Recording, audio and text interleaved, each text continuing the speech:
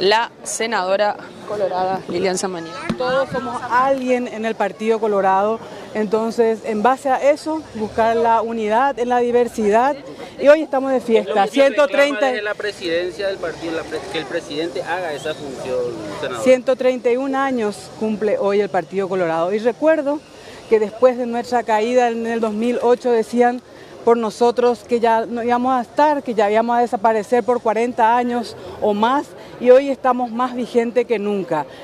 Hoy, en estos 131 años, lo que nos resta a cada uno de los colorados y coloradas es poner la predisposición, el sentido de pertenencia y en base al diálogo, la tolerancia, buscar esa unidad en la diversidad. Tenemos un pre Claro, sí, sí. Hay una división bastante grande. No, yo le voy a decir porque estuve ocho años en la conducción del partido. Estuve en el momento más difícil de su historia, que es la llanura.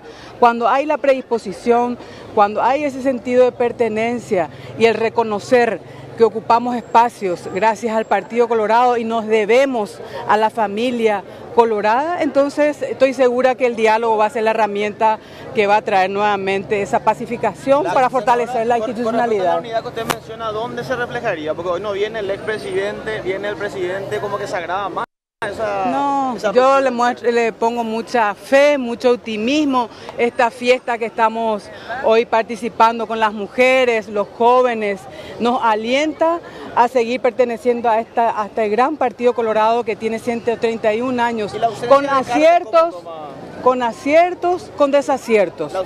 El partido trasciende las personas. El Partido Colorado es un sentimiento.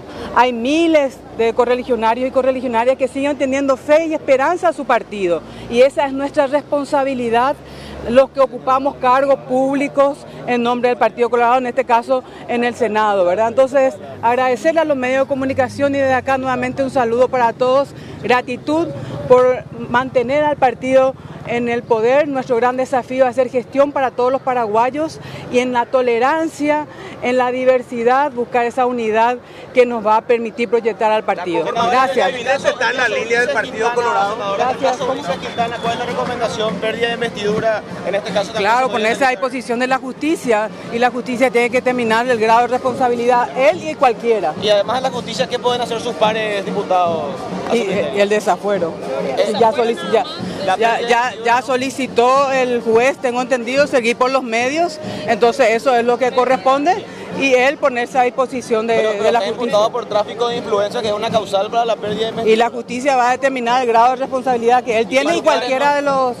Y bueno, con el, con el desafuero ya le están poniendo a disposición de la justicia como cualquier ciudadano. ¿Y, por qué no la pérdida de Una vez que se, se vea la responsabilidad, es uno de los artículos que establece el código del partido. La Gracias. tiene algo que ver con la línea del partido en la actualidad, Al, el presidente electo hoy, presidente constitucional Mario Ado Benítez, está cumpliendo lo que el partido le pidió.